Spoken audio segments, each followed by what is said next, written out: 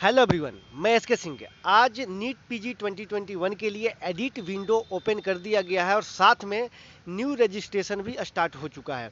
वैसे स्टूडेंट जो NEET PG 2021 का किसी कारणवश रजिस्ट्रेशन नहीं कर पाए थे, वैसे स्टूडेंट फ्रेश रजिस्ट्रेशन कर सकते हैं। और दूसरी बात, जो एडिट विंडो है, जिसमें कैटेगरी चेंज का ऑप्शन बहुत सारे स्टूडेंट को जो प्रॉब्लम आ रही है टेक्निकल प्रॉब्लम आ रहा है, बहुत सारे स्टूडेंट का फ़ोन कॉल आ रहा है पेरेंट्स का कॉल आ रहा है, कि जब मैं लॉगिन कर रहा हूँ तो एक्सेस नहीं हो रहा है और साथ में ओ जनरेट नहीं हो रहा है।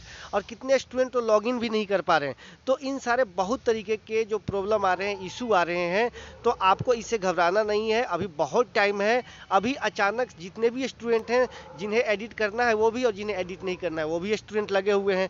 तो इस पर कहीं ना कहीं सर्वर पे ज़्यादा लोड होने के कारण ये अच्छे तरीके से वर्क नहीं कर रहा है। तो आप लेट नाइट या मॉर्निंग में कल या फिर आप कल किसी भी टाइम में आप कर सकते हैं, आसानी से हो जाएगा। अभी आप लोगों को प्रॉब्लम इसीलिए हो रहा है क्योंकि ज़्यादा सर्वर पे लोड पड़ रहे हैं, ज़्यादा, ज़्यादातर लोग अभी ट्राई कर रहे हैं, खास करके वैसे स्टूडेंट भी ट्राई कर रहे हैं, जिन्हें नहीं करना चाहिए, जिनका ऑलरेडी सारा फ़ंक्शन सही है। लेकिन फिर भी लगे हुए हैं। इसके वजह से कहीं ना कहीं ये प्रॉब्लम आ रहे हैं इशू आ रहे हैं, बहुत सारे स्टूडेंट को फ़ोन आ रहे हैं।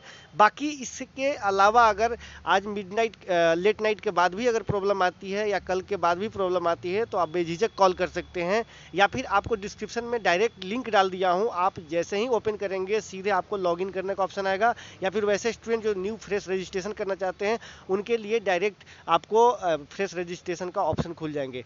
और एक और बात है कि बहुत सारे स्टूडेंट को ऐसा भी फ़ोन आ रहा है क्या सर मैं फिर से रजिस्ट्रेशन कर दूँ क्या इसमें हमको सेंटर का ऑप्शन आ जाएगा? नए सेंटर चेंज करने के ऑप्शन आ जाएँगे।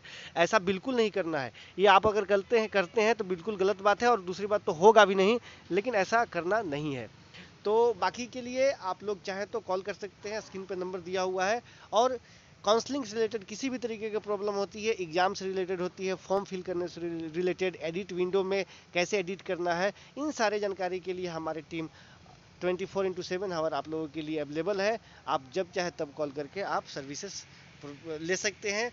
जी हाँ दोस्तों, आज के वीडियो में इतना ही। Thanks for watching